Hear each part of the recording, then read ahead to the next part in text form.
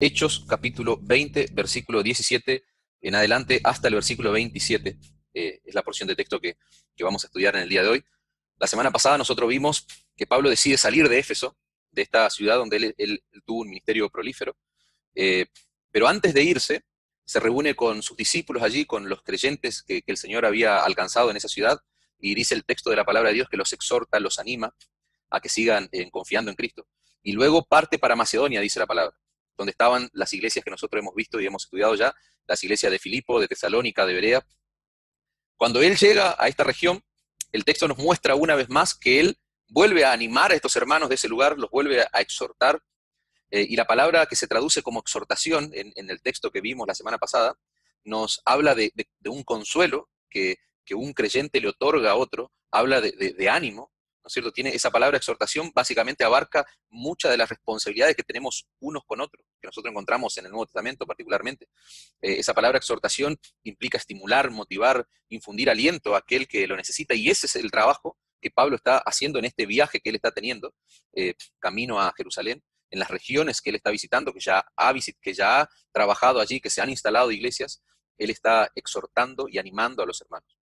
Y eso fue tremendo porque tuvo un impacto muy positivo, muy productivo eh, para las iglesias que estaban en esas ciudades, porque estaban bajo el gobierno del imperio romano. Y nosotros ya hemos visto y sabemos eh, a los sufrimientos eh, a los cuales los creyentes del primer siglo eran, eran sometidos. Y es interesante porque en nuestro texto claramente nosotros vemos esa virtud del apóstol Pablo para consolar y para alentar a los hermanos que estaban pasando situaciones sumamente críticas, pero al mismo tiempo nosotros vemos un perfil de Pablo donde él podía no solo alentarlos, no solo consolarlos, sino también eh, confrontarlos cuando era necesario, cuando era oportuno hacerlo. Muchos autores, muchos teólogos eh, lo definen a Pablo como el consolador y el confrontador, dos virtudes eh, que eran claramente visibles en el ministerio y en la vida de Pablo, y son dos virtudes que deben ser claramente visibles en el ministerio y en la vida de todo hombre que, está ejerciendo el, el, servicio al Señor, el llamado de todo hombre que ha respondido al llamado pastoral. Y Pablo claramente reunía esas condiciones. Eh, de Macedonia, Pablo, vimos que Pablo parte hacia Grecia. Estando en Grecia surge persecución, dice el texto, por parte de un grupo de, judíos. Entonces, él decide volver por Macedonia nuevamente para ir hacia Jerusalén. Y durante ese, trayecto vimos que se queda siete días en una ciudad llamada Troas. Eh, allí suceden unos hechos interesantes. Eh, en una predicación que él tiene allí antes de partir de Troas, una persona que accidentalmente se cae durante una predicación, el texto dice que cae muerto, luego esa persona recobra la vida, etcétera. No vamos a profundizar en eso, ya lo vimos la semana pasada. Él se queda siete días en esta ciudad llamada Troas. En todos eh, sus viajes, nosotros vimos que él siempre iba acompañado. De hecho, en esta porción de texto, Lucas, que es la persona que relata, eh, que escribe el libro de los Hechos, Lucas hace mención de, ciertos compañeros que Pablo tiene y da una lista interesante de nombres. Y eso es una característica interesante del ministerio de Pablo, porque él siempre viajó acompañado, nunca viajó solo.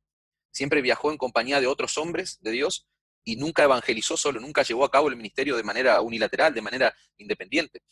Nosotros eh, vemos y sabemos por el relato que hace Lucas que de Troas él se traslada hasta otra ciudad que se llama Mileto y curiosamente pasa de largo la ciudad de Éfeso porque quería estar lo antes posible en Jerusalén, eso es lo que dice el texto, para el día de Pentecostés, y no quería demorarse eh, en esa región que, era Asia, y Éfeso nosotros ya hemos visto que era la capital, era la ciudad clave en, ese, en esa región. Eh, pero estando en Mileto, él manda a llamar a los pastores que estaban en Éfeso, pastores que él seguramente había nombrado durante su ministerio. Él estuvo tres años en la ciudad de Éfeso. Entonces, en Mileto, él manda a llamar a sus hermanos, a estos ancianos, eh, y nosotros sabemos por, por el estudio de, la palabra griega que se usa, que la palabra para anciano, la palabra para pastor la palabra para obispo nos habla de un mismo rol. Las personas que Pablo manda a llamar desde Mileto, los, los, los efesios que él manda a llamar, eran los pastores que estaban pastoreando la iglesia allí en Éfeso, que estaban cuidando de los creyentes. Y ese es el contexto de nuestro pasaje. En, ese, en esa situación nosotros quedamos eh, la semana pasada. Y nosotros eh, hoy vamos a ver que ese encuentro, esa reunión que Pablo tiene con estos pastores de Éfeso, iba a ser muy importante, porque esa iba a ser la última vez que estos hombres iban a ver a Pablo. Eh, esa, esa, era la última vez que ellos iban a, a poder compartir con él, estar en la presencia del apóstol Pablo. Y nosotros nos vamos a dar cuenta no solo hoy, sino al, terminar la porción completa, que va a ser la semana que viene, que no, nos van a quedar dudas de que esa reunión estuvo llena de emociones, eh, lleno de, tristeza, de dolor provocado por la separación que, va a ocurrir. Ustedes imagínense que Pablo había estado trabajando con esos hombres durante tres años. Ellos eh, padecieron cosas juntos, oraron juntos, lloraron juntos, sirvieron junto al Señor allí en la ciudad de Éfeso. Hicieron, eh, fueron testigos del gran avivamiento que ocurrió en esa ciudad, hicieron eh, misiones juntos. Y ahora lo que el texto nos dice es que por última vez se van a ver. Y antes de despedirse Pablo, él quería darle a estos pastores una suerte de, discurso, de, sermón o, mensaje, podríamos decir, que no tenía que ver con doctrina, sino que tenía que ver con aspectos prácticos de la obra eh, del ministerio, del ministerio pastoral. El pasaje que nosotros vamos a estudiar nos muestra a Pablo como pastor. Ese es, la, es el, patrón que vamos a encontrar a lo largo de todo el relato, a lo largo de este discurso que él hace. Eh, se, lo muestra a él como, como el pastor y la idea que tenía Pablo, claramente lo vemos en el texto, es que estos hombres, estos pastores eh, de la ciudad de Éfeso puedan eh, comprender que ellos debían hacer el ministerio pastoral de la misma forma que Pablo lo hizo estando allí en Éfeso. eso era básicamente lo que Pablo perseguía, el objetivo de Pablo, que sigan su ejemplo. Y en el mensaje que él les da a estos pastores efesios, hay tres partes claramente definidas. La primera tiene que ver con un repaso que Pablo hace del pasado, de cómo fue su ministerio pastoral mientras estuvo con ellos. Eso abarca del versículo 18 al 21. La segunda parte de su discurso habla del presente y de los sentimientos que, están surgiendo en el corazón de Pablo en cuanto a, lo, que le, lo que le espera eh, en su viaje y en lo que está por venir. Y por último, lo que hace Pablo es advertirles a estos hombres acerca del futuro y de los peligros que las iglesias debían enfrentar. Eso lo vemos del versículo 28 al 35, que es la parte que vamos a ver la semana que viene. Así que con esa introducción de fondo, yo quisiera que podamos eh, leer el texto desde el versículo 17 al 27 y comenzar con el desarrollo del mensaje. Dice, enviando pues desde Mileto a Éfeso, lo que acabamos de decir recién, hizo llamar a los ancianos de la iglesia, estos son los pastores de la iglesia de Éfeso. Cuando vinieron a él les dijo, vosotros sabéis cómo me he comportado entre vosotros todo el tiempo, desde el primer día que entré en Asia, sirviendo al Señor con toda humildad y con muchas lágrimas y pruebas que me han venido por las acechanzas de los judíos. Y como nada que fuese útil he rehuido de anunciaros y enseñaros públicamente y por las casas, y testificando a judíos, dice, y a gentiles acerca del arrepentimiento para con Dios y de la fe en nuestro Señor Jesucristo. Ahora he aquí ligado yo en espíritu, voy a Jerusalén sin saber lo que allá me ha de acontecer, salvo que el Espíritu Santo por toda la ciudad me da testimonio, diciendo que me esperan prisiones y tribulaciones. Porque de ninguna cosa hago caso ni estimo preciosa mi vida para mí mismo, con tal que acabe mi carrera con gozo, dice Pablo. Y el misterio, y el ministerio, perdón, que recibí del Señor Jesús para dar testimonio del Evangelio de la gracia de Dios. Y ahora, he aquí, yo sé que ninguno de todos vosotros entre quienes he pasado predicando el reino de Dios verá más mi rostro. Por tanto, yo os protesto en el día de hoy que estoy limpio de la sangre de todos. Y el último versículo de nuestro pasaje dice, porque no he rehuido anunciaros todo el consejo de Dios. No rehuí anunciarles todo el propósito de Dios, dice en otras traducciones. Nosotros vamos a ver, como le dije, la primera y segunda parte, la parte final del 28 en adelante, lo veremos eh, la semana que viene. Pablo básicamente lo que está haciendo con estos hombres es recordarles cómo él hizo su ministerio pastoral entre ellos. Nosotros lo que estamos viendo en el texto que estamos estudiando es una suerte o una especie de conferencia de pastores que está ocurriendo. esto que está pasando en nuestro pasaje es como una especie de conferencia para pastores, porque básicamente es lo que está ocurriendo Pablo hablándole a pastores a hombres que, tienen la, noble tarea de pastorear el rebaño allí en la ciudad de Éfeso. No obstante, hermanos, esta es una aclaración que yo quiero hacer antes de, comenzar el desarrollo del texto. Nosotros eh, no podemos pensar o cometer el grave error de que este pasaje no es, no aplica a nosotros, o no es tan importante, tal vez, porque tal, no todos los que estamos acá somos pastores, no. Ese sería el, error, eh, un error grave que podríamos cometer frente a un pasaje tan profundo y, tan eh, extenso en cuanto a contenido y, calidad, ¿no es cierto?, eh, de la palabra de Dios. Nosotros, lo que nosotros observamos de este relato, de este discurso del ministerio de Pablo y, el mensaje que él le está dando a estos pastores es tan relevante para nosotros hoy como creyentes, para, para mí como pastor, para la iglesia en general de nuestros días, es tan relevante como lo fue para estos hombres que fueron convocados por el apóstol a una reunión especial con él. Nosotros estamos frente a un discurso destinado a pastores, pero las implicaciones del contenido de este mensaje es para todo genuino creyente. Y eso lo descubrimos, lo sabemos a la luz de este texto, pero lo sabemos también eh, por el testimonio eh, que encontramos de la palabra de Dios en las cartas pastorales. Vemos eh, que Pablo escribe cartas a Timoteo, por ejemplo, pero son cartas que no solamente iban a ser útil y de gran impacto para él, sino para toda la iglesia que, que, tenía que pastorear allí Timoteo, por ejemplo. Entonces, este es un discurso para pastores, pero que tiene, que el contenido de este discurso tiene implicaciones para nosotros hoy, hermano, 20 siglos después. En este discurso Pablo nos muestra no solo cómo fue su ministerio en Éfeso, sino también que nos muestra cómo fue su carácter, cómo fue su conducta como hombre de Dios. Hay tremendas características del carácter y de la conducta que Pablo mantuvo a lo largo de su ministerio en esa ciudad. Yo creo que ya te habrás dado cuenta, pero lo primero que resalta en nuestro texto es la humildad de Pablo. No vemos un superhombre, no vemos, eh, muchas veces los consideramos estos hombres como los héroes, ¿no es cierto?, desde el primer siglo, los héroes del Evangelio, pero claramente el texto nos muestra a un hombre común y corriente, un hombre como vos, no un superhombre sino un hombre que derramó lágrimas y que atravesó todo tipo de pruebas, dice el texto que nosotros acabamos de leer. Cuando, cuando vinieron a él, los pastores de Éfeso, dice el versículo 18, vos, él les dijo, vosotros sabéis cómo me he comportado. Eso es conducta. Pablo le está diciendo, no es desconocido para ustedes la conducta que yo he mantenido entre ustedes. Vosotros sabéis cómo me he comportado. Estos hombres que estaban allí, convocados a esta reunión especial, fueron testigos. Ellos vieron Nadie les contó, nadie les dijo por carta eh, cómo fue Pablo o cómo era Pablo en su ministerio en cuanto a conducta y carácter. No, ellos vieron, ellos fueron testigos, ellos presenciaron cómo el apóstol Pablo llevó a cabo su ministerio en esta ciudad.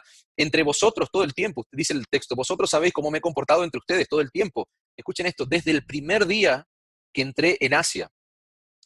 Desde el primer día, hermano, yo cuando leía este texto, yo, yo observaba e identificaba en el pasaje que esa es la altura, ese es el, umbral, ese, es el parámetro que todo hombre de Dios y aún todo creyente debe, debe tener. Eso es lo que estamos viendo en el versículo 18. Dice el versículo 19, sirviendo al Señor con toda humildad. Lo que decíamos antes, lo primero que resalta en cuanto al comportamiento y la conducta es su humildad. Y con muchas lágrimas, dice. Y pruebas que me han venido por las acechanzas de los judíos. Desde el minuto uno de su conversión, hermano, desde el minuto uno de la conversión del apóstol Pablo, Pablo se entregó sin reservas a la obra del Señor. Pablo pasa de ser el perseguidor a ser el perseguido. Y Dios iba a moldear en este hombre un corazón humilde. Y nosotros ya, lo, ya hemos visto la manera en que Dios obró en él, a, la luz de los capítulos que ya hemos estudiado en el libro de Hechos. Dios iba a formar en este hombre, en el apóstol Pablo, un corazón humilde.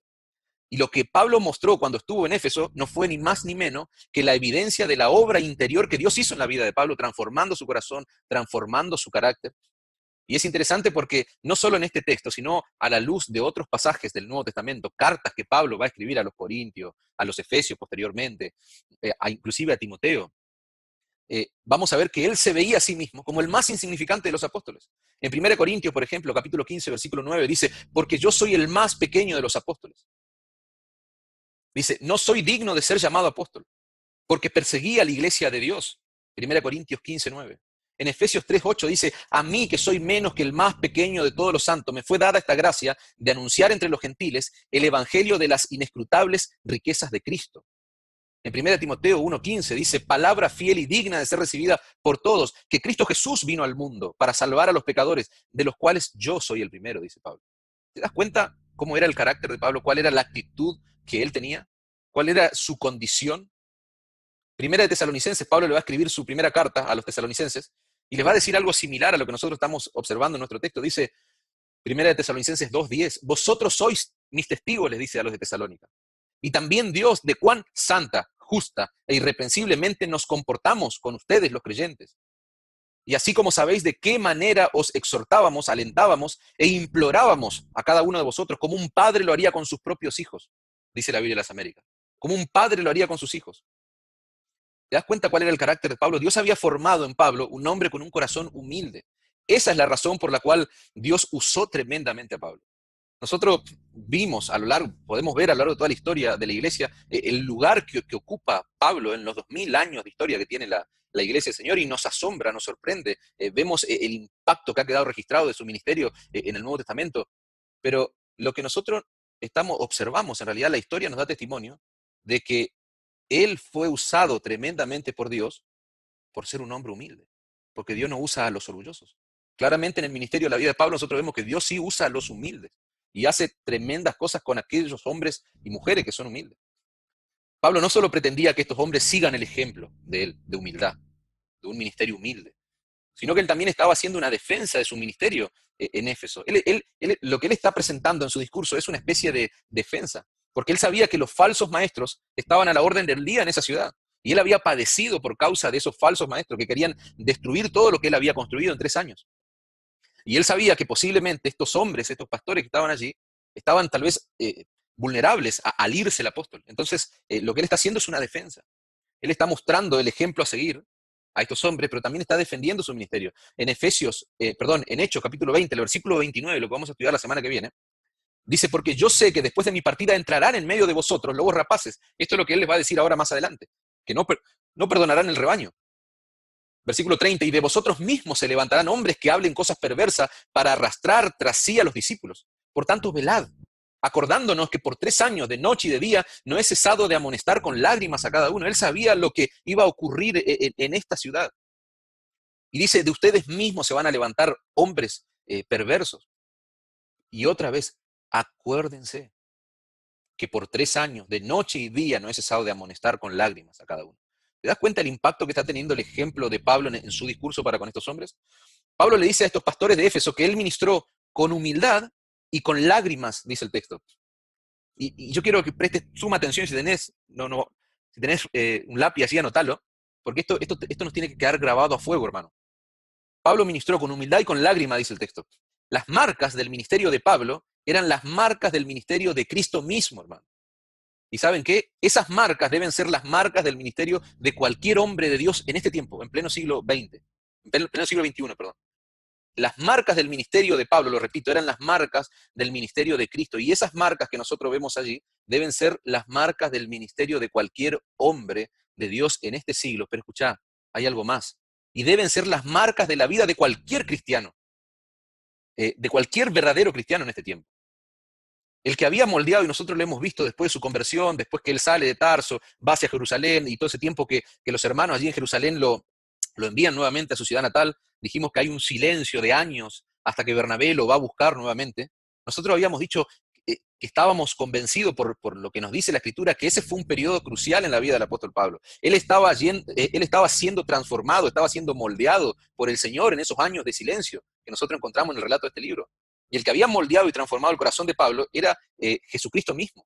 Y si nosotros pensamos eh, en un ministerio lleno de humildad y de lágrimas, el Señor Jesucristo es el, ejemplo supremo que nosotros tenemos. Él, el Señor Jesucristo, fue el principal ejemplo del siervo sufriente, como lo, denomina allí el profeta Isaías en el capítulo 53.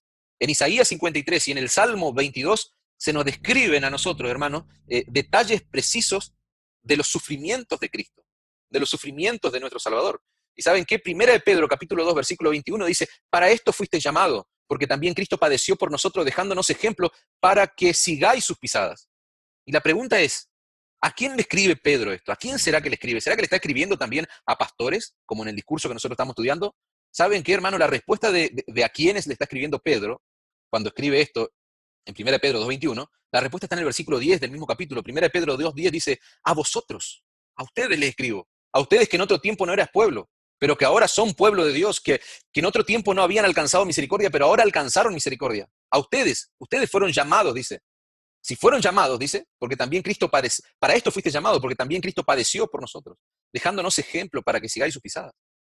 ¿Te das cuenta de lo que decíamos antes? Las marcas del ministerio de Cristo deben estar en la vida de cualquier hombre, de todo hombre de Dios, que hoy intenta llevar a cabo el ministerio pastoral, pero deben estar en la vida de cada creyente de todo creyente, las marcas de humildad, las marcas de sufrimiento, las lágrimas. ¿Por qué decimos eso, hermano? Primera, segunda de Timoteo 3:12. Porque todos los que quieren vivir piadosamente en Cristo Jesús padecerán persecución. Todos los que quieren vivir piadosamente serán felices. No, no dice eso el texto. Todos los que quieren vivir piadosamente van a ser prósperos, van a ser exitosos, todos sus problemas se van a resolver. Venía Cristo, esa es la mentira eh, más atroz que hemos vivido en el Evangelio. Lo que dice la palabra de Dios es que todos los que quieren vivir piadosamente en Cristo Jesús van a ser perseguidos, como lo fue Pablo, como lo fue el mismo Cristo, como lo fueron los creyentes del primer siglo, y eso no pasa hoy. No, no, es que hoy va a pasar eh, diferente, sí, va a seguir pasando aún en pleno siglo XXI. Y fíjense lo que Pablo le dice a los creyentes de Listra en el mismo libro donde nosotros estamos estudiando, Hechos 14, 22. Es necesario que a través de muchas tribulaciones entremos al reino de Dios. Entonces te das cuenta que no existe ese evangelio triunfalista, ese, ese evangelio próspero que hoy abunda en nuestros días. Las lágrimas, hermanos, ¿cómo hablar de, ese evangelio? Pero las lágrimas formaron parte del ministerio de Pablo. ¿Y saben qué? Y formaron parte de aquellos que fueron alcanzados por su ministerio. Y formaron parte de, aquellos cristianos que vivieron durante estos dos mil años de historia. ¿Y saben qué? Van a formar parte de nuestra vida hoy. del ministerio de, de los pastores hoy actuales y del ministerio de los verdaderos creyentes, las lágrimas y el sufrimiento y el padecimiento por la causa de Cristo. Pablo no fue un pastor distante, otra característica que vemos. No fue un pastor insensible, no fue un pastor ignorante de las luchas de las ovejas de Éfeso. Todo lo contrario, Pablo fue un pastor que, un pastor que ministró con lágrimas, con cercanía. Él tenía olor a oveja, como dice, como dice la frase esa. En la escritura nosotros vemos tres cosas que les causaban dolor a Pablo. En Romanos capítulo 9, versículo 2 al 3, no lo vamos a buscar ni leer porque si no se nos iría mucho tiempo, pero eh, el rechazo que el pueblo judío tenía hacia el Evangelio, eso le dolía tremendamente a Pablo. El rechazo de sus compatriotas hacia el Evangelio de la cruz. Otras cosas que les causaba dolor al apóstol Pablo, lo que encontramos allí en 2 Corintios capítulo 2, versículo 4, eh, la lucha que, tienen los cristianos débiles eh, y sus pecados. Pablo ve la iglesia de Corintios, una iglesia tremenda pero llena de, pecado y él se duele por ello. Pablo probablemente de, las iglesias que él tuvo, que fundó y que, que pastoreó, probablemente esa fue la iglesia más desagradecida. Y Pablo sufrió, lloró por ello. Puede buscarlo allí en 2 Corintios 2, 4. Otra cosa que le causaba dolor a Pablo era la amenaza que representaban los falsos eh, maestros. Y de hecho lo, vemos en el versículo 31, como le dije antes, velad, acuérdense que por tres años, de noche y día, no he cesado de amonestar con lágrimas a cada uno. Eso le causaba dolor también a Pablo. A pesar de tantos problemas y dificultades, dice, no he cesado, no, he parado de enseñarles, dice la lenguaje actual. En el verso 19 de nuestro, texto nosotros podemos ver cómo esas acechanzas eh, de los judíos causaron dolor a Pablo, esos problemas ocasionados por, la persecución del mismo pueblo judío. Dice el lenguaje actual, el versículo 19, he sufrido mucho por los problemas que me han causado algunos judíos. He derramado lágrimas por la persecución de mis propios compatriotas. El texto es muy claro, hermanos. Al menos lo que venimos estudiando hasta acá es muy claro en mostrarnos que Pablo le está recordando a esta gente algo que ellos vieron, algo que ellos presenciaron, como decíamos antes. Yo tenía una aplicación rápida para bajar un poco el texto a tierra. Yo tengo escrito acá, así como las ovejas, escuchen esto, las ovejas son los mejores testigos de la vida de un pastor. Las ovejas son testigos de si el pastor vive de acuerdo a lo que dice, a lo que habla, etc. Las personas que te rodean a vos, las personas que nos rodean, que me rodean a mí, tu familia, eh, tu trabajo, donde sea que vos estés, que exista, donde sea que te muevas, ellos son los mejores testigos de tu estilo de vida y de tu carácter y de tu conducta. El texto nos muestra claramente que estos pastores, ellos presenciaron, ellos vieron, ellos saben de lo que Pablo le está hablando. Porque no solamente las palabras de Pablo hablan, sus hechos hablaron. El verso 18 nos muestra que el primer día de Pablo en Éfeso, escuche esto hermano, estamos bajando a tierra estos conceptos, el primer día de Pablo en Éfeso fue igual a su último día. Eso es tremendo. Yo quiero que te concentre en este principio, en esta verdad que encontramos. A mí me impactó, a mí me, me conmovió eh, entender esto. El primer día de Pablo en Éfeso fue igual a su último día. Vos, vosotros sabéis cómo me he comportado entre vosotros todo el tiempo, desde el primer día que entré en Asia. Pablo inició su ministerio de una manera, hermano, y terminó su ministerio de la misma manera. Es importante cómo se inicia una obra en un lugar determinado. Esa es la aplicación que yo tengo. Es importante cómo se inicia una obra en una ciudad, en un lugar específico. Pero más importante aún es cómo se termina esa obra, hermano. Y esto debe, llevarnos a pensar a nosotros, a nivel iglesia, a nivel corporativo, pero también a nivel personal, a nivel, eh, a nivel individual. Estudiar textos como, estos, como perdón, nos deben llevar a, desear y a anhelar que esa misma realidad que se ve reflejado, es, que se ve reflejado allí, en el texto, se vea reflejada en nuestra iglesia, en nuestras vidas como cristianos, cuidando cómo comenzamos, pero también cómo terminamos. Eso es tremendo. No importa cómo comenzaste tu transitar con el Señor, cómo comenzó tu vida, eh, lo que importa es cómo vas a terminar tu vida en relación al Evangelio. El versículo 19 de la lenguaje actual dice, con toda humildad he cumplido con todo lo que el Señor Jesús me ha ordenado. Así lo, lo traduce esta traducción. He cumplido, dice Pablo, con todo lo que el Señor Jesús me ha ordenado. Y la pregunta es, como iglesia, ¿estamos cumpliendo con todo lo que el Señor Jesús nos ha ordenado? Como creyente, vos, ¿estás cumpliendo con todo lo que el Señor Jesucristo te ha ordenado? En la Reina Valera 60, nosotros encontramos que ese, pasaje se traduce como sirviendo al Señor. Esa es la expresión que está en la Reina Valera 60. Esa expresión nos habla de que Pablo se veía a sí mismo como un esclavo, literalmente. Ni más ni menos. Él se veía a sí mismo como un esclavo de Cristo. Nosotros, a la luz de, lo que sabemos del ministerio de Pablo por otro pasaje de la Escritura, nosotros sabemos que él no era esclavo de hombres, él era esclavo del Señor. La pregunta para nosotros es, ¿cómo te ves vos en relación a Cristo? ¿Cómo nos vemos de manera personal, de manera individual? ¿Estamos sirviendo al Señor? ¿Estamos cumpliendo con todo lo que Él nos ha ordenado? ¿Somos esclavos de Cristo? Es la pregunta. ¿Sos un esclavo de Cristo? Hay un autor, Warren Whitby, dice, Pablo vivía una vida coherente que cualquiera podía inspeccionar, tremendo. Cualquiera podía inspeccionar la vida de Pablo. Yo cuando veo esto, a mí me humilla, hermanos.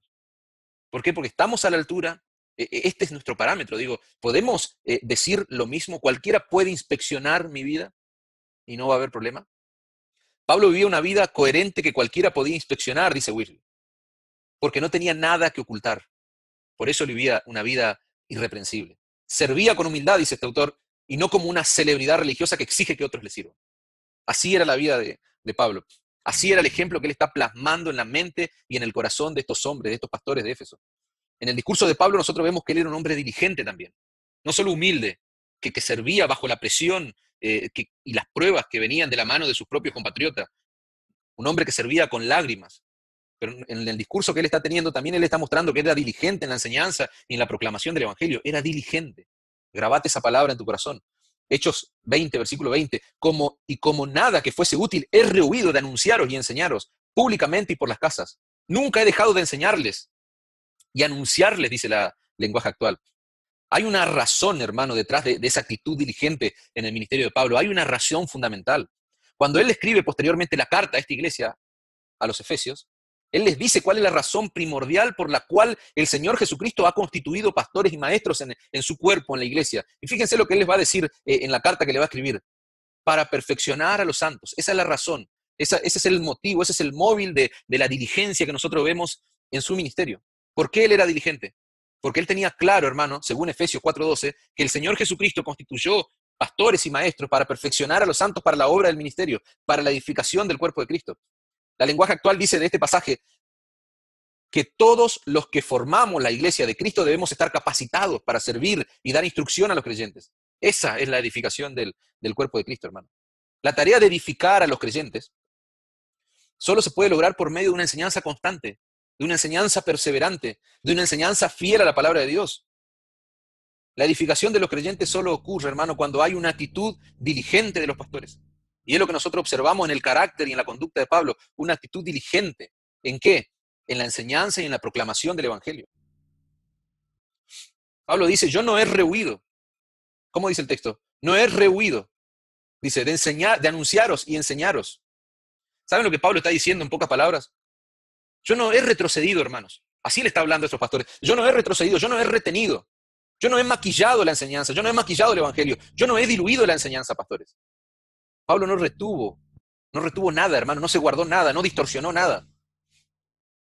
Pablo no retuvo palabras de ánimo, no retuvo doctrina, no retuvo exhortación, no retuvo amonestación, ni nada que fuera provechoso para la iglesia de Éfeso durante tres años. ¿Y saben qué? Él tenía frente a, frente a sí mismo a sus testigos, a estos pastores.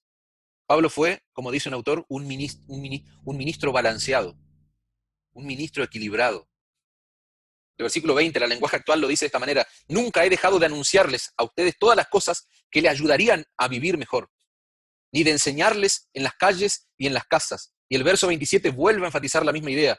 Dice, porque no he rehuido anunciaros todo el consejo de Dios. No les he ocultado nada, dice la lenguaje actual. Pablo tuvo un ministerio público en las calles, dice el texto, tuvo un ministerio privado en la ciudad de Éfeso, en las casas, lo que hablábamos antes. Era un hombre eh, que tenía olor a oveja, cercano a sus ovejas. Y esos hombres lo sabían muy bien, hermano. Versículo 21 de nuestro pasaje. Testificando, dice, a judíos y a gentiles acerca del arrepentimiento. Esa palabra que aparece allí como arrepentimiento es metanoia. Ahora vamos a hablar un poquito de qué es eso. Dice, acerca del arrepentimiento para con Dios y de la fe en nuestro Señor Jesucristo. A judíos y gentiles. Él no discriminó a nadie. Pablo no hizo acepción de persona. Él le predicó tanto a sus compatriotas como a aquellos gentiles a los cuales él fue llamado para ganar a esos hombres, al pueblo no judío. Tan grande era la preocupación de Pablo, hermano, por los perdidos, que él en 1 Corintios capítulo 9, versículo 16 dice, ay de mí si yo no anunciara el Evangelio. ¿Te das cuenta por qué él no retuvo? Él no, no retrocedió, no huyó, no diluyó el mensaje. Ay de mí si yo no anunciara el Evangelio, le dice a los Corintios capítulo 9 de la primera carta, versículo 16. La palabra griega para testificando que nosotros vemos allí en nuestro texto, nos indica que la presentación del Evangelio que hacía Pablo, hermano, nunca fue superficial, nunca fue parcial, sino que la presentación del Evangelio que el apóstol hacía siempre fue bien detallada, siempre fue exhaustiva, tal como vemos que dice el verso 27, no he rehuido anunciaros todo el consejo de Dios, todo el propósito de Dios. El ministerio de Pablo tenía una centralidad, hermano, en una predicación preciosa, que tenía como columna el arrepentimiento y la fe en Jesucristo, hermano. Esa era la, centralidad de la predicación de Pablo. No era motivación, éxito, prosperidad, psicología, humanismo y toda la basura que nosotros conocemos. No, la centralidad de la predicación de Pablo tenía que ver con el arrepentimiento y la fe depositada en Jesucristo. El arrepentimiento, hablábamos antes, esa palabra rara griega, metanoia, implica un cambio de mente, implica un cambio en la mente del hombre que se arrepiente, que eso termina impactando de manera eh, contundente su conducta, su comportamiento. Pablo hablaba, predicaba y proclamaba, la centralidad del mensaje de Pablo empezaba por ese lugar. Ya un fuerte llamado al arrepentimiento, a un cambio en la mente que se veía impactado en, lo exterior, un cambio que sucedía en el interior, pero que se reflejaba en los hechos del hombre. Un teólogo del siglo XIX dice, definió el arrepentimiento como de esta manera, una fuente de gracia, dice, concedida solo a los elegidos, por medio de la cual hacen a un lado la vida de pecado y se ocupan de la justicia. Eso es lo que ocurre cuando una persona se arrepiente. Hace un lado su pecado, el pecado que antes amaba, que antes deseaba, que antes anhelaba, que antes disfrutaba, y ahora se ocupa de la vida de justicia, de la santidad de Dios. Hay una frase preciosa de, un evangelista estadounidense del siglo XIX, eh, Dwight Moody. Él dice, el arrepentimiento es una lágrima en el ojo de la fe. Tremenda, hermano. Tremenda frase. El arrepentimiento es una lágrima en el ojo de la fe, que era la otra, eh, la otra columna central de la predicación de Pablo. El remordimiento no se debe confundir con arrepentimiento, hermano. El arrepentimiento implica dolor por, por el pecado, por la acción de pecar. El remordimiento, en cambio, implica tristeza por las consecuencias del pecado. Una persona arrepentida siente dolor por haber pecado. Esa es la realidad. Ese es el cambio que hay en la vida de todo hombre que es impactado por el Evangelio. En cambio, una persona llena de remordimiento siente pena porque su pecado es descubierto. Pero no hay dolor, no hay arrepentimiento, hay remordimiento, hay una pena, pero porque mi pecado es descubierto, mi pecado es desnudo. En el Nuevo Testamento, hermano, nosotros vamos a encontrar algo tremendo. Todo eh, el canon bíblico, digamos, del Nuevo Testamento, desconoce totalmente, escuchen esto, hermano, desconoce de manera total y absoluta un evangelio que carezca de un llamado claro y profundo al arrepentimiento. No vamos a encontrar en la palabra de Dios una proclamación del evangelio desnutrida de un llamado claro y profundo al arrepentimiento del hombre pecador.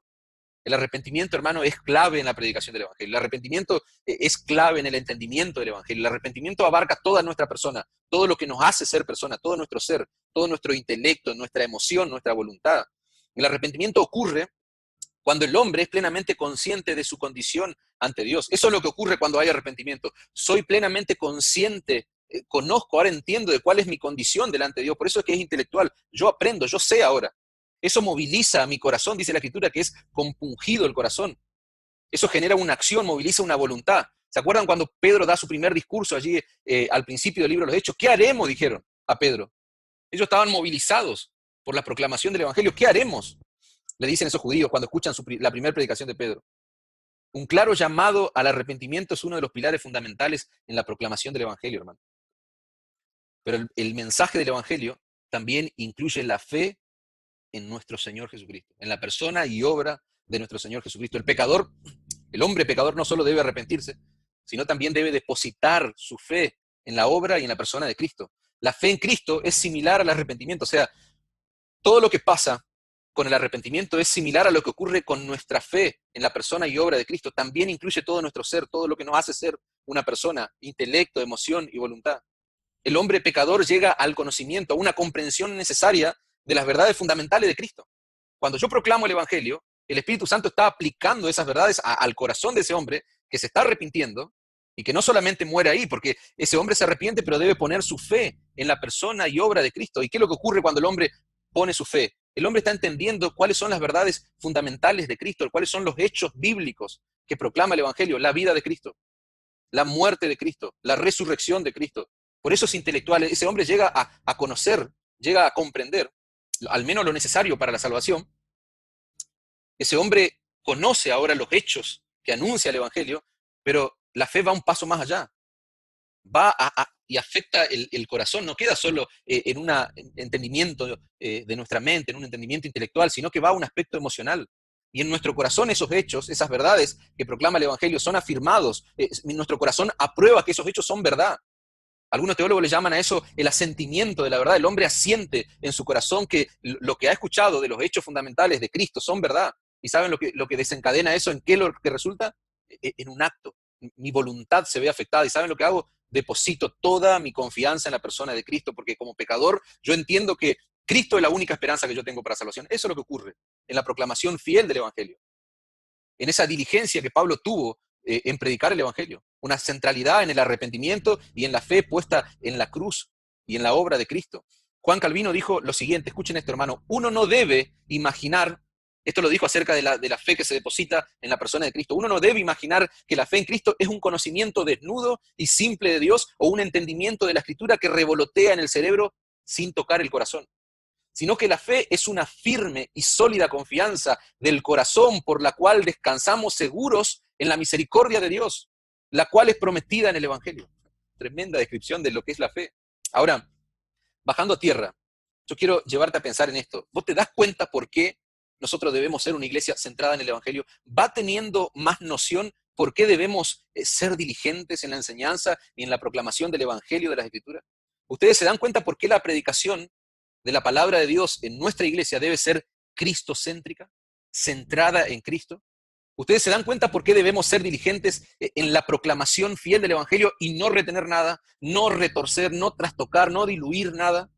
Porque si no la gente puede terminar creyendo cualquier cosa, hermano, menos creyendo en el glorioso Evangelio de la cruz.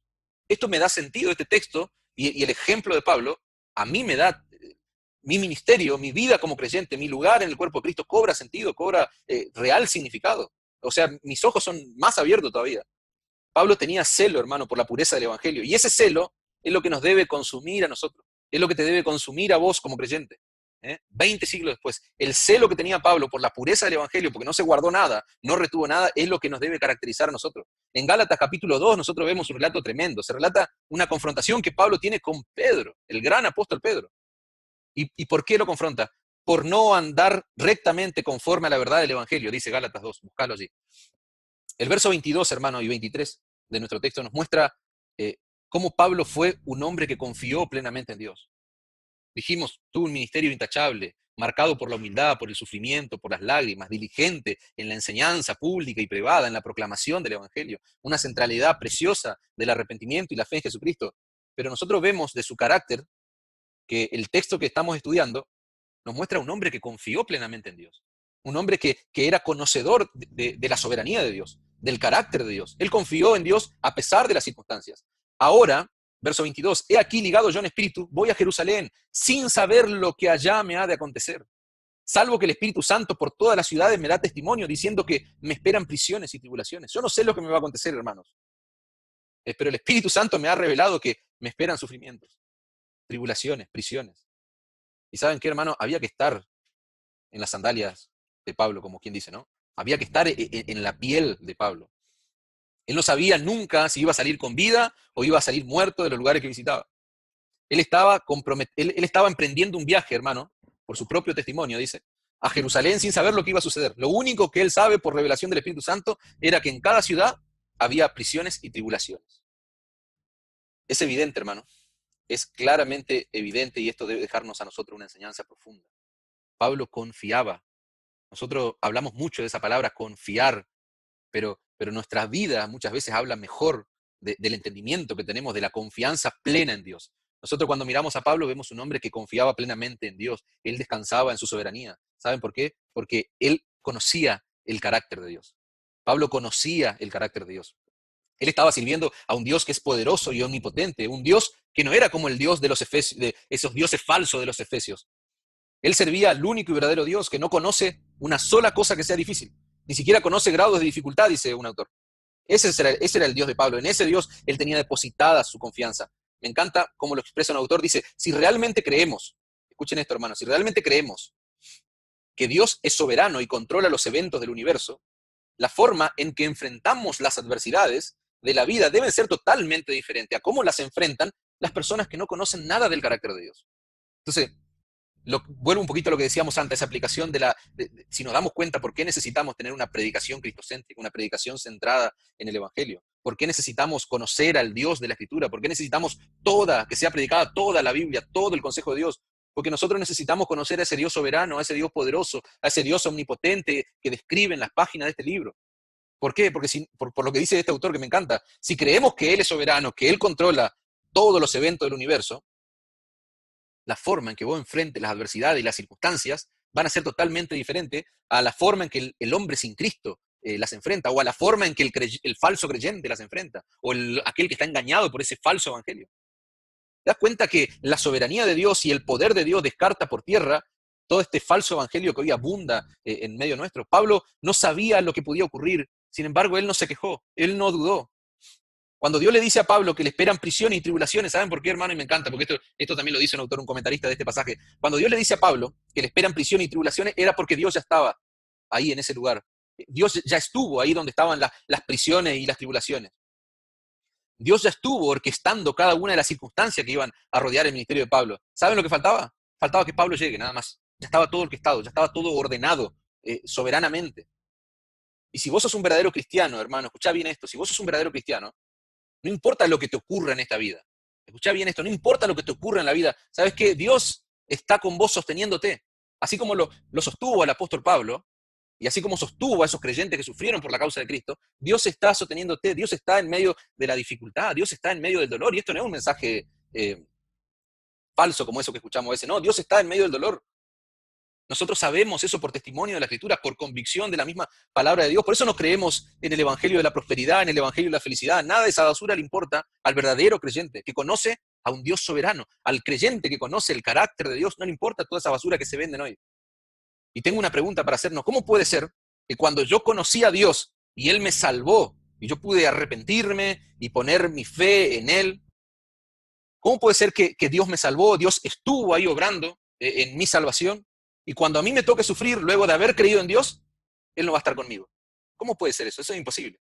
Entonces, ¿te das cuenta cómo actúa el conocimiento de la verdad bíblica y profunda en la vida del creyente? Ese Dios que estuvo allá en mi salvación, ese Dios que, me confrontó con mi pecado, que me, que me dio la gracia del arrepentimiento y la fe para que yo la deposite en Cristo, ese Dios que me salvó es el mismo Dios que va a estar en medio del dolor, en medio de la dificultad. No va a huir ese Dios que me salvó. No, el mismo Dios que nos salvó con el Evangelio es el mismo Dios que nos va a sostener en medio del dolor, hermano, en medio del sufrimiento. Por eso nos sirve para, a nosotros no nos sirve el Evangelio de la prosperidad. No nos sirve eh, el Evangelio que, te evita, te trae la felicidad a, este mundo caído. No nos sirve. Cuando conocemos el carácter de Dios de esa manera, podemos vivir por fe, hermano. Cuando vos conoces el carácter de Dios, vos podés vivir por fe, literalmente. Podemos ir a las prisiones y tribulaciones, como lo hizo Pablo, confiando plenamente y descansando en el Señor. No necesitamos un evangelio que nos resuelva la vida acá en la tierra, hermano. Acordate siempre esto, vos no necesitas un evangelio que te resuelva la vida acá en la tierra, lo que necesitamos es un evangelio que nos resuelva la eternidad, esa es la verdad, esa es la realidad, no que nos traiga comodidad a un mundo caído, esto no es el cielo. Eso hay que proclamarlo, eso hay que decirlo, no solamente desde el púlpito, cuando te toca hablar de Cristo, proclama eso a los cuatro vientos, que tu predicación esté centrada en el arrepentimiento y la fe en Cristo. Filipenses 1.12 dice, quiero que sepáis, hermanos, que las cosas que me han sucedido, escuchen esto, hermano, esto es Filipenses 1.12. Quiero que sepan que las cosas que me han sucedido han redundado más bien para el progreso del Evangelio. ¿Te das cuenta de lo que, cómo Pablo procesaba eh, estas vicisitudes, estas circunstancias en su vida?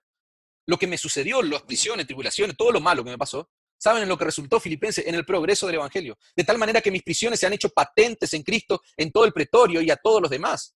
Versículo 14 de Filipenses 1. Y la mayoría de los hermanos, cobrando ánimo en el Señor con mis prisiones, se atreven mucho más a hablar de la palabra sin temor. Versículo 21. Porque para mí el vivir es Cristo y el morir es ganancia. Yo no sé cómo se hace leer esta porción de la Escritura, hermano, y no sentir que, la gloria del Evangelio no nos aplasta y nos deja desnudos. Yo no sé. O sea, estos son pasajes que, que uno siente como que un peso gigante cae sobre vos y te aplasta. ¿Te das cuenta cómo actúa el verdadero Evangelio?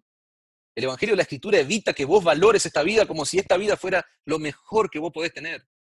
Eso es lo que hace el glorioso mensaje del Evangelio. Evita que pongamos nuestra mente en este mundo y que pensemos que esto es lo mejor, que esto es lo mejor que nos va a pasar. Eso hace el Evangelio de las Escrituras, hermano. El Evangelio que proclamaba Pablo, el Evangelio que tenemos que proclamar nosotros. La mayoría de los hermanos cobraban ánimos, dice en el Señor, con mis prisiones, con mis sufrimientos.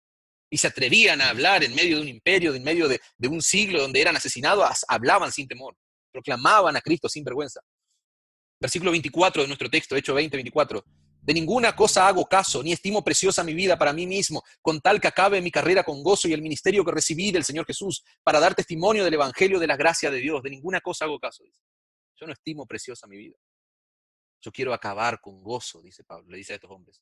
Quiero acabar con gozo mi carrera, el ministerio, el trabajo, la obra que recibí del Señor Jesús. Quiero dar testimonio del Evangelio de la gracia de Dios. Si yo voy a vivir, quiero que sea para testimonio del Evangelio de la gracia de Dios. De ninguna cosa hago caso ni estimo preciosa mi vida. Esa expresión, hermano. Lo que Pablo está diciendo es que una vez que Cristo lo salvó, desde el momento que él iba persiguiendo a la iglesia y ahora se encuentra con Cristo, Cristo lo salva, de ahí, de ahí en adelante el único valor que su vida tenía estaba relacionado a la causa de Cristo, no a otra cosa. El único valor de su vida tenía que ver con la causa de Cristo, porque divorciada de la causa de Cristo, su vida no tenía valor. Y yo ahora te pregunto, ¿vos pensás que con vos es diferente? Tu vida divorciada de la causa de Cristo no tiene valor. O sea, es Cristo y su evangelio lo que le da valor a nuestra vida en un mundo caído. ¿Te das cuenta? Es Cristo y su evangelio. Nuestra vida desvinculada de la causa de Cristo, de un compromiso diligente con Cristo y su Evangelio, no tiene sentido en nuestra vida como creyente, es una contradicción de, de término. Porque el Señor nos salvó para que dejáramos de vivir nuestra propia vida y comencemos a vivir la suya, hermano. Que era una respuesta, un argumento ese, ese, ese es un argumento. El Señor nos salvó para que vos empieces a vivir su vida, que es mucho mejor que nuestra vida, según nuestro entendimiento, según nuestra concepción de este mundo. A Pablo lo único que le importaba era glorificar a Dios, hermano, ya sea con su vida, con su muerte, no le importaba si él moría en Jerusalén, si él moría fuera de Jerusalén, si él moría decapitado, si él moría pediado, no le importaba si él moría viejito, de muerte natural, si moría acompañado o en soledad, lo único que le preocupaba era que cuando le llegue la hora, él pueda glorificar a Dios en la hora de su muerte, hermano. ¿Y sabes cómo murió Pablo? Murió solo, murió desamparado, murió decapitado en Roma. Pero ¿saben qué? Dios fue glorificado, hermano. Dios fue glorificado. Para vivir como vivió Pablo, escucha bien esto, hermano para vivir como vivió Pablo, tenemos que vivir por una causa que sea superior a nuestra vida. ¿Y saben cuál es esa causa? Es la causa de Cristo, es su evangelio. Nosotros tenemos que vivir por Cristo y su evangelio. En los últimos versículos que vamos a estudiar hoy, versículos 25 y 27, vemos la profundidad del ministerio de Pablo, hermano. Pablo tuvo un ministerio con profundidad. Vemos el alto compromiso que Pablo tenía con Cristo, que Pablo tenía con el evangelio de la cruz que Pablo tenía con la gracia de Dios. Escucha bien la profundidad del ministerio de Pablo. Y ahora, versículo 25, he aquí, yo sé que ninguno de todos vosotros, entre quienes he pasado predicando el reino de Dios, verá más mi rostro, lo más triste que, les dice él. Versículo 26, por tanto yo os protesto en el día de hoy, que estoy limpio de la sangre de todos, porque no he rehuido anunciaros todo el consejo de Dios. Claramente, hermano, nosotros vemos un ministerio comprometido profundamente con Cristo. No solamente una vida comprometida con Cristo, sino un ministerio comprometido de manera profunda con Cristo, con su evangelio, con la proclamación de la cruz y de la gracia de Dios. Pablo no retuvo nada concerniente al evangelio de Cristo en su ministerio, nada.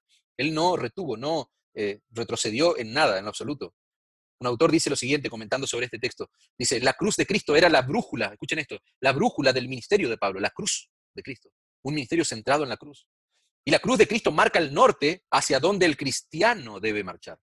La cruz de Cristo era el ministerio de este hombre, pero la cruz de Cristo también es la brújula tuya, la brújula de tu vida, de mi vida. ¿Por qué la cruz de Cristo es la brújula que, que nos mantiene orientados, no solo en el plano ministerial, sino en el plano de una vida de cualquier creyente, no solo en la vida pastoral? La pregunta es, ¿por qué la cruz es esa brújula que nos orienta?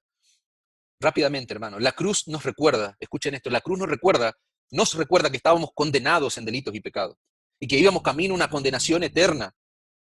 Y en esa cruz, en la cruz del Calvario, nosotros fuimos redimidos a precio de sangre. Eso nos recuerda la cruz, hermano. Cada vez que nosotros recordamos estas cosas, eso nos motiva a seguir en la dirección correcta. ¿Se dan cuenta por qué Pablo tenía que predicar la cruz en ese, en ese siglo? Y, y aún hoy sigue, siendo, sigue teniendo la misma vigencia. La cruz te tiene que recordar quién eras vos, la condición legal que vos tenías ante Dios. La cruz nos recuerda que en el madero, en esa cruz, colgó el Hijo de Dios, que vino a ocupar tu lugar, que vino a ocupar mi lugar. El mismo Hijo de Dios sufrió la ira del Padre, la ira de Dios, que vos y yo eh, teníamos que sufrir. Y eso nos motiva, a mí eso me da un norte, me da una dirección en mi vida, hermano. La cruz me recuerda la misericordia y la gracia de Dios. La cruz nos recuerda que por mi vida, por tu vida se pagó un precio muy alto, la sangre de Cristo. Eso nos recuerda la cruz, hermano. Y que para vivir la vida cristiana también tiene un precio muy alto. Eh, pero el precio, escucha esto, hermano, el precio que yo tengo que pagar para vivir mi vida cristiana es infinitamente menor que el precio que se pagó para comprar mi vida. ¿Te das cuenta cómo la cruz le da sentido a la vida del creyente? ¿Te das cuenta cómo la cruz le da valor, significación a la vida del creyente y no necesito nada de los accesorios que hoy se venden en el Evangelio? La cruz, la cruz le da sentido. La cruz me dice que por mi vida se pagó un alto precio, pero lo que yo tengo que pagar no se compara en nada. La cruz es nuestra brújula. Lo fue en el ministerio de Pablo, debe ser en tu vida y en nuestra iglesia. ¿Se dan cuenta por qué la predicación divorciada de la cruz es lo peor que le puede ocurrir a una iglesia? Es lo peor que le puede ocurrir a la iglesia de Cristo. Spurgeon decía, escuchen esto, hermano, yo recibí años atrás órdenes de parte de mi Señor de que me parara al pie de la cruz hasta que Él regresara. Y yo pretendo permanecer ahí hasta que Él vuelva. Oh, tremendo, hermano. Esa misma orden que recibió Spurgeon recibimos nosotros, que nos paremos al pie de la cruz hasta que Él vuelva. Y la pregunta es, ¿estamos dispuestos a permanecer ahí hasta que Él venga? Ahí es donde debemos permanecer, hermano, a los pies de la cruz. Versículo 25, Pablo se va despidiendo, lo leemos de nuevo, dice, y ahora he aquí, yo sé que ninguno de todos vosotros, entre quienes he pasado predicando el reino de Dios, verá mi rostro. Eso fue tristísimo, lo dijimos. La semana que viene vamos a ver cómo ellos se, se arrollaron en la playa para despedir a Pablo y lloraron. Y el texto dice que lo que más le dolió fue que Pablo le dijera que ya no lo iban a ver más.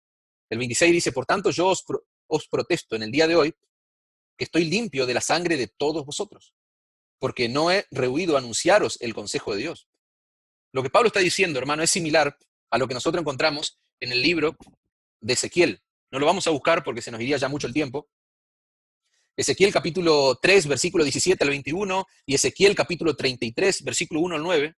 Nosotros vamos a encontrar similitud con lo que Pablo está diciendo allí. El profeta Ezequiel allí habla de advertencias sobre las consecuencias de no, de no permanecer, de no, de no vigilar. El profeta Ezequiel está hablando de un centinela, de una atalaya un guardia que tenía que estar despierto, el, centinela tenía que estar alerta, listo para sonar la alarma, para, hacer el llamado de, que venía el peligro, de que se estaba invadiendo la ciudad. Tenía que ser fiel y no temeroso, porque la ciudad, la, seguridad de toda la ciudad, la seguridad de mucha gente dependía del centinela. Y, y Pablo está poniendo esa misma idea en la mente de estos hombres. Pablo había sido un centinela fiel, en pocas palabras es lo que él está diciendo. Él había, le había predicado a incrédulos y le había declarado a los creyentes todo el consejo de Dios. Y saben lo que Pablo le está diciendo es, yo soy inocente. Yo soy inocente de la sangre de todos, de judíos y griegos. Dice el versículo 21 de la Biblia de las Américas que él testificó solemnemente del arrepentimiento y de la fe en Cristo.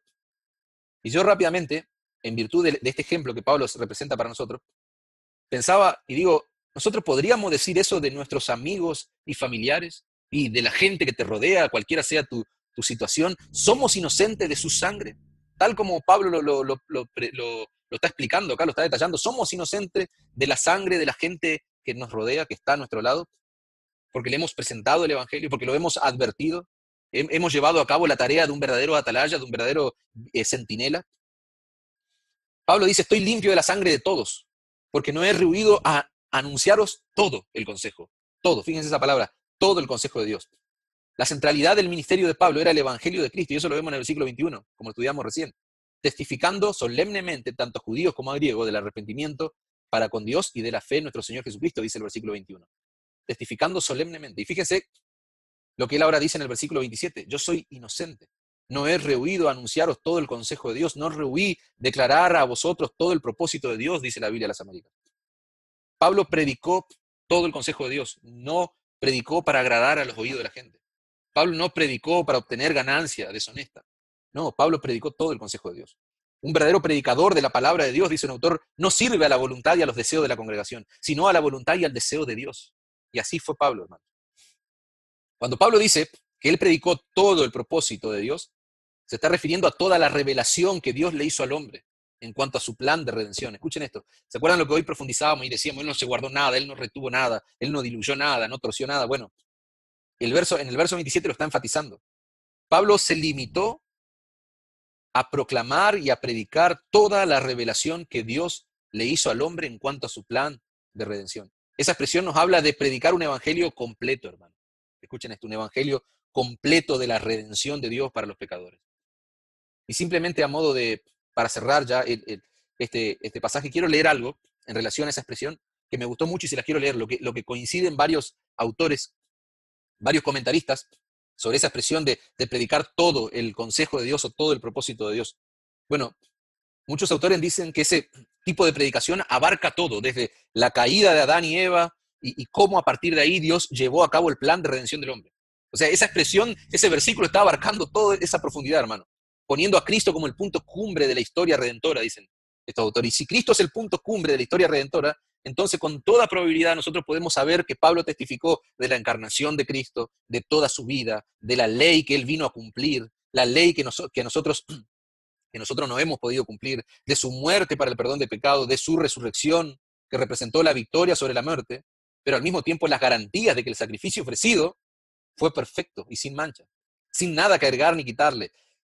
La predicación de todo el consejo de Dios, dice este autor, abarca su ascensión a los cielos, sentándose a la derecha del Padre, desde donde intercede por nosotros y desde donde, gobierna todo el universo, desde su segunda venida, etcétera, etcétera. Podríamos seguir, hermano, es largo, pero todo. Pablo tuvo una predicación completa del plan de redención, hermano. Eso es tremendo.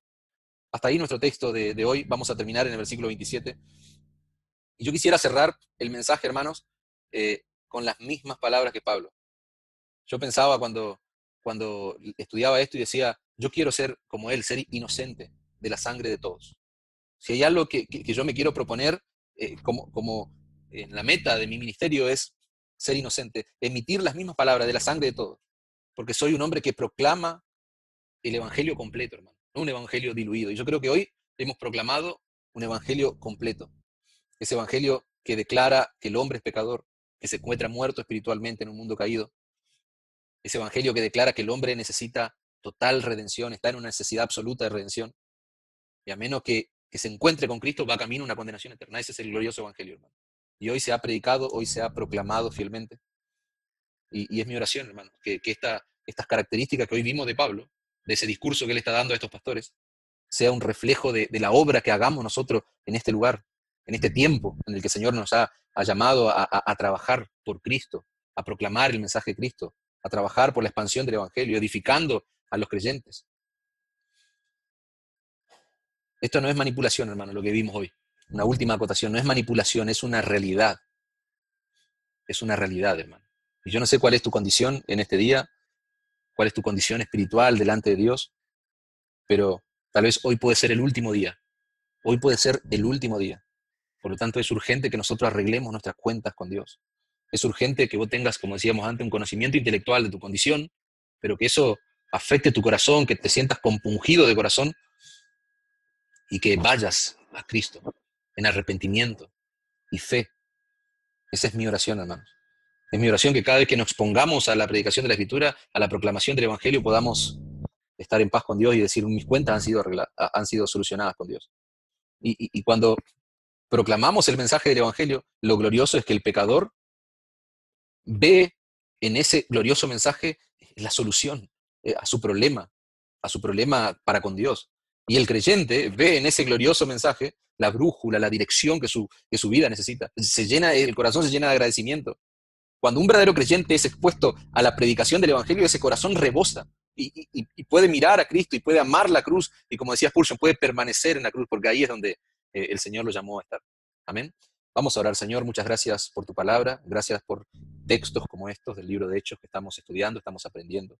Señor, oramos para que todo lo revelado en la predicación que Pablo hace a estos hombres, a estos pastores de Éfeso, que toda esa verdad, esas características de su ministerio y de su vida en cuanto a su carácter, y su comportamiento puedan ser reales en nuestras vidas, en mi vida personal, Señor, y, en la iglesia que tú estás levantando en este lugar. Que tu iglesia pueda eh, estar centrada en la proclamación fiel del Evangelio. Oramos en el precioso nombre de Cristo Jesús. Amén.